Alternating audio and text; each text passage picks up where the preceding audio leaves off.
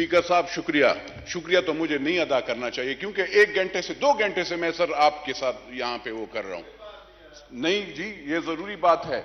यहाँ पे मुझे बताएँ, सर, आपने ये बिल्स पास किए हैं यूनिवर्सिटीज के। कभी आपने अपने एजुकेशन सिस्टम से पूछे कि आपकी एजुकेशन की क्वालिटी और क्या वो है?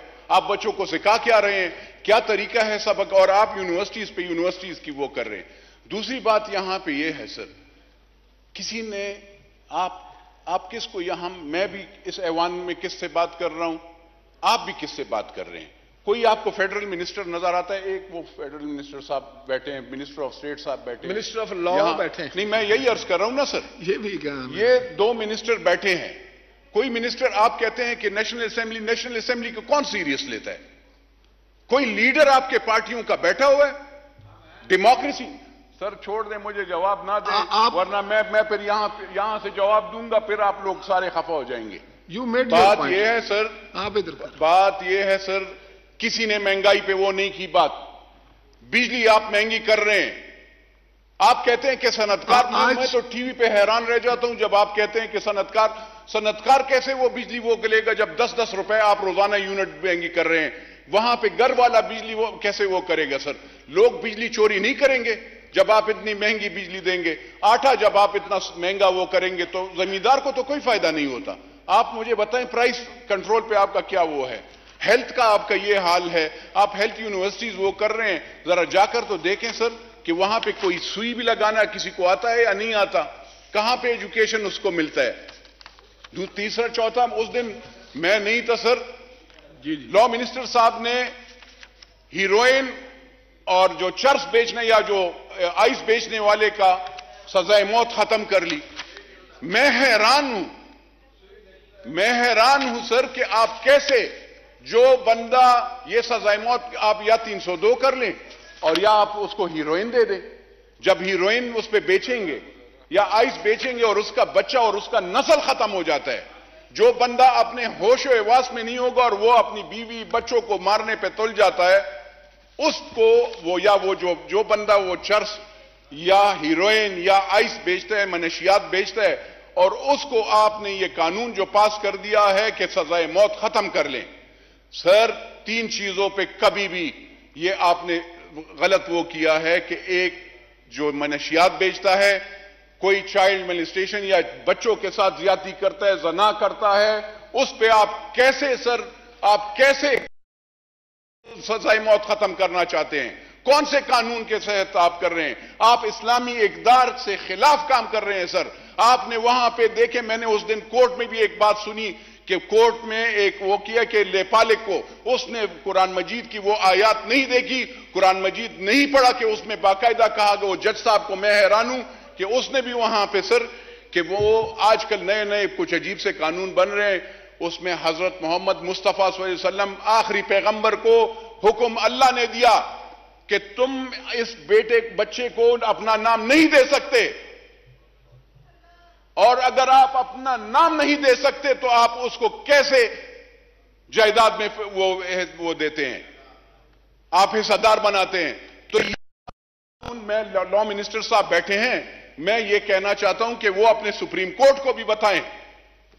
कि आप शरीयत से खिलाफ बात ना किया करें। शरीयत के खिलाफ कुरान मजीद के अहकाम के खिलाफ बात ना किया करें।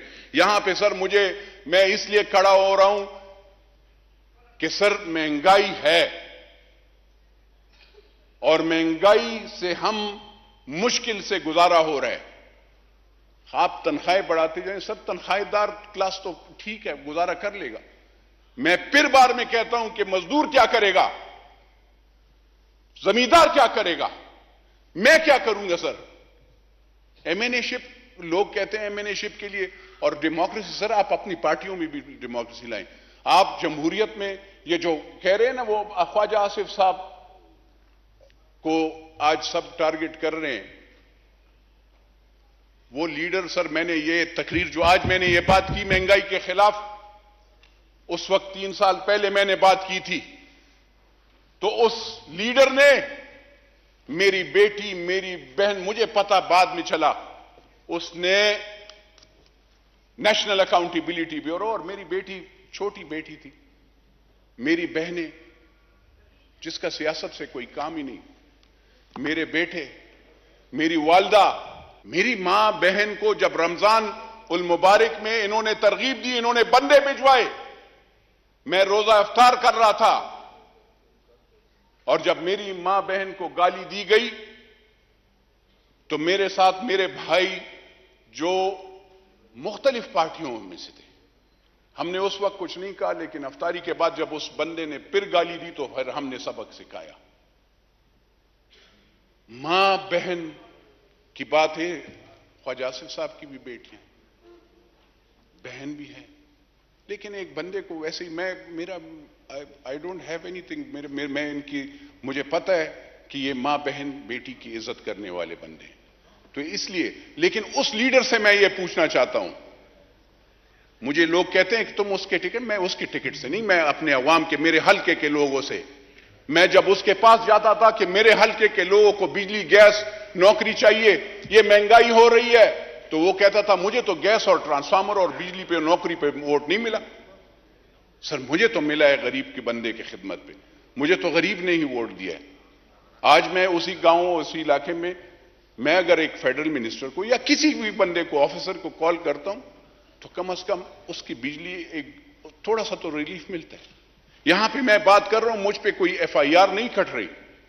मुझ पे कोई वो नहीं कर रहा। तो मैं इन लीडरान साहिबान को सबको कहता हूँ कि हौसला पहले अपने खुद डेमोक्रेटिक नॉर्म्स अपने आप में पैदा करो। आप अपने क्रिटिसाइज क्रिटिसिज्म जब आप आप लोगों को खुद भी क्रिटिसिज्म बर्दाश्त किया करो आपको पॉलिशी चाहिए होते और हम लोग पॉलिशी नहीं है हम पॉलिश वालिश नहीं करते हमने पाकिस्तान के लिए हल्फ लिया है और पाकिस्तान के गरीब लोगों के लिए खिदमत के लिए वो की है। सर यहाँ पे राजा साहब सॉरी सर स्पीकर साहब बात यह है महँगाई है और महँगाई मैं ऑनरेबल मिनिस्टर साहब से जनाब स्पीकर आपसे मेरी ये रिक्वेस्ट है कि खुदारा चाहे आईएमएफ हो वर्ल्ड बैंक हो उनको ये कहें कि अगर आटा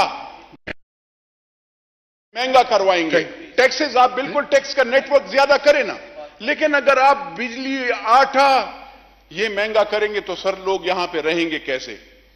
तो ये मेहरबानी फरमाकर ये जरा वो सोचिएगा। ये और आप जो भी काम करना चाहते हैं लेकिन मेरा ये सर वो था मैंने लॉ मिनिस्टर साहब भी बैठे थे मैंने ये मनीशियात पे बिल पे मैं अब भी वो कहता हूँ सर कि इस पे रीथिंक करें। ये पांसी होनी चाहिए वरना खुदा की कसम गली गली में चर्स और पाउडर और हीरोइन बिकेगा। आपका और सारी दुनिया में पाकिस्तान का नाम बदनाम होगा जी।